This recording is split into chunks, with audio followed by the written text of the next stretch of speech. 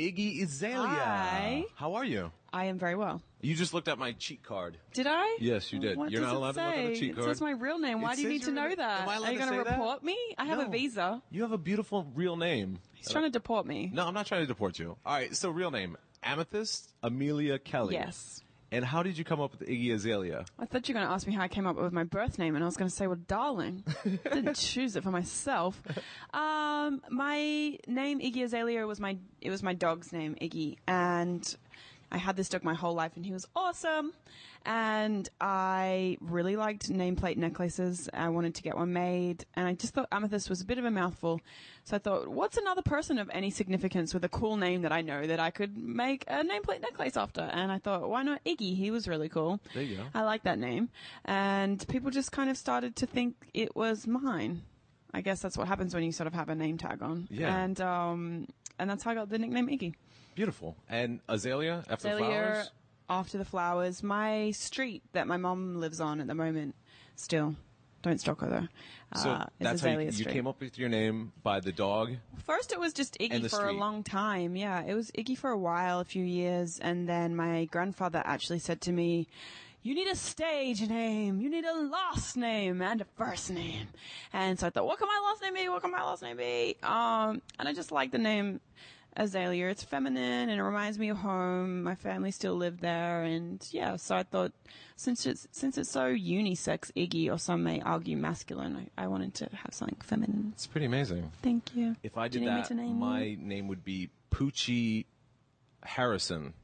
Was that your? Uh, The first dog we had was Poochie, and my first dog was actually Edward. Not as interesting. And No, my street I grew up on was Myocum. Iggy's way better. I'd be Edward Myocum. Not as interesting. So you're from Australia. I am. Beautiful. Thank you. Um, it's been said that you are the most sought after new female hip hop artist since Nicki Minaj. Well, that's a good thing to be. Uh, absolutely. She's very sought after. we haven't really heard much in the female hip hop game recently. I know. It's so sad. And they then need to comes be Iggy more. Azalea I'm here. busted through the doors. I did. So, uh, what do you think about your new fame and success? My new fame and success. Hmm. it's good after years and years of being a failure. I'm really happy to be successful. I did not mean it that way. It is so nice. Thank you. well, what, what I'm talking about is your I music. know what you're talking about. No, it's Obviously. amazing. It's really great. It's great. Um, I've lived here for so long and I've had a lot of successes in Europe. Uh, but that can feel a little bit surreal at times because I'm, of course, all the way over here and I live in Los Angeles. And so it seems like it's all on the internet and it cannot feel like it's really happening. And so to have some success in America and have people embrace and enjoy, uh, my single fancy has been really cool because I get to have my friends call me and say, it's on the radio! And all these kinds of things that make it real life. So I'm enjoying that. I'm fancy. No, you've done some cool collaborations. T.I., of course. Yes, T.I. He's on my album and he loves to do songs with me. He makes me do it. He pays me for it, actually. How do I get T.I. to pay me to do things? I don't know. it's debatable. No, I he have doesn't. zero talents, though. If you ask him, he'd say, I pay him. But really, neither of us making any money here. So it's a good collaboration then. Yeah, it's it's a free one of friendships. So let's talk about Fancy. Um, the album is yet to be released. Yep, it's released on the 22nd of April, but it's on pre-sale at the moment, so everybody can uh, pre-order it, and you actually get my four singles, one with T.I., Fancy, um, Work, and Bounce straight away when you pre-order my album, which is pretty cool. Awesome. And the album's called The New Classic. It's called the New Classic. Tell me about that name. How'd you guys come up with that? Well, being that it's my album, I think I'm the only one that came up with it. Oh, nice. I know. I touche. All right, maybe I thought you- had some creative influence from somewhere else, No, but obviously. Um, uh, how did I come up with the name The New Classic? I just felt like, um, for me, living in this era Mm-hmm. and being from this generation, I'm 23, and I feel like we are very nostalgic and we draw so much from, uh, generations of the past, so much so that I feel like I would hear so many people my own age and younger saying, our generation has like nothing to offer. We just take everything, we recycle everything and those generations are so much better and all the classic music is in the 90s and back and now we have nothing and So classic. Yeah, and I don't think that it's that way. I think that yeah, we sample and we do new things, but um, those are special too. And I think that we have our own classic, and people will be nostalgic about our our generation and whatever it is that we're doing that we kind of brought to uh, the table that was new and fresh and unique. And I thought it was really weird to look at art and see how there are so many different kind of periods of art and things that change or the way they sample things and use things, but we don't look at music or culture that way necessarily so much. Um, in the way that we take things in Yeah. our generation. I think it's so, so strange. So I just kind of wanted to make an album that was like sampling in different ways to what we're used to seeing with hip hop sampling EDM instead of say soul music or working with new people like Charli or Rita, putting them on my project and trying to have it be new faces and new things that people can maybe be nostalgic about in future or maybe not, but just kind of a commentary on me saying that I think that um, our generation is significant too. That was the most beautiful thing I've ever heard in my life. You're welcome. I got misty a little bit.